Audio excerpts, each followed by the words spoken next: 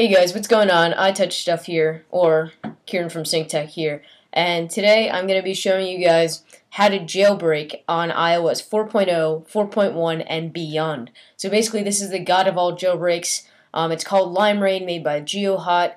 Um, he beat the dev team to it. Um, the greenpois0n jailbreak by the dev team was supposed to be released today at 10:10:10 at 10:10 a.m., but GeoHot released his yesterday on October 9th and um, it actually uses a different exploit than the one that the dev team was going to use, and it supports the iPhone 3GS, iPod Touch 3G, iPad, iPhone 4, and the brand new iPod Touch 4G. And again, this is like the god of all jailbreaks, what we've been waiting for, and uh, can't wait to get my iPod Touch 4G jailbroken. Now, to download this uh, application, just visit limera1n.com, L-I-M-E-R uh, A1N.com and you'll be taken to this page where at the top it'll give you a little description six months in the making supported devices untethered thanks to Comex and um, how Mac will be coming soon because currently there is no Mac download. Even though I am on a Mac I'm going to be using Parallels uh, desktop 6 um, to jailbreak. So down at the bottom you'll see a section called known bugs uh, just some bugs that people have been having and uh, the changelog which is currently at beta 4 and at the very, very bottom, it'll say download for Windows and then a donate button so uh, you can donate to him.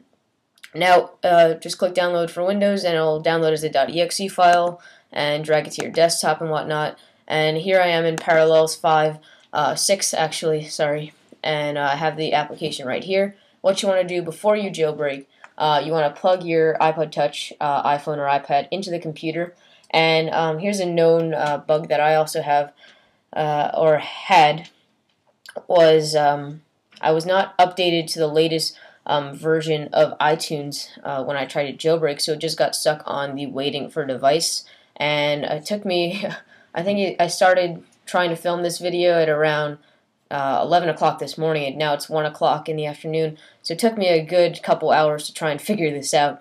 Um, and also, if you're running this on a Parallels made you need to make sure that you have iTunes downloaded not on your Mac but also on your Parallels um, virtual machine um, because apparently iTunes has all the drivers and everything that this jailbreak will be using to jailbreak your iPod. So that's what you need to do. Be sure you have iTunes and that you're on the latest iTunes version. So once that's all done, you can double click on the Limera1n application after you have your iPod plugged in. And as you can see, it has a very, very similar interface to the one of blackra1n, all you have to do is click Make It Rain, only the after process is a little bit more difficult because you'll need to be entering DFU mode. So I have my iPod Touch 4G here connected. I'm going to click Make It Rain, waiting for device. It's going to enter into recovery mode, which it is doing right now. This is good. iTunes may pop up. Um, you can just quit out of it. And now it's telling you to hold the home and power button, uh, which is these two. And for that's about for 10 seconds and you want to release the power button now when it tells you to. And just hold the home button. And when it tells you to release uh, it doesn't tell you to release but it just says in DFU mode wait. So it's in DFU mode now. And just wait. There you go. iTunes will pop up again. It's jailbreaking. It says your jailbreak is done. Basically you don't have to hold anything down anymore. You can exit out of this exit out of everything and after that whole Limera1n icon goes away, you can boot your iPod up by holding this uh, sleep wake button, and you should be jailbroken. Now, I'm sorry if that was a little confusing to you guys, and if there was a lot of pop-ups that were distracting you, um, but hopefully you got to see that um, pretty good, and in the description I'll tell you guys what to do um, if you're having any trouble.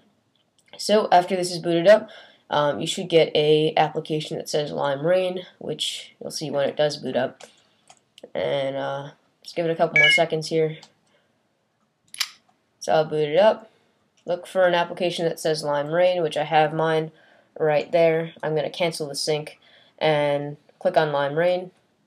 You will need Wi-Fi for this because um, you're going to install uh, Cydia. Unfortunately, uh, I don't have Wi-Fi at the moment. It's down right now. Um, but as soon as I do, uh, I'll go ahead and download Cydia and everything. But you should have something that says select packages and it should give you the option to download Cydia. So you click on it, and then in the upper right hand corner, hit install. Cydia is all downloaded after that process is done. You might have to reboot um, to get Cydia on your home screen, And then there you go. You can open up Cydia, have fun downloading all your apps, how to jailbreak uh, on an iPod Touch 4G. Have fun, guys.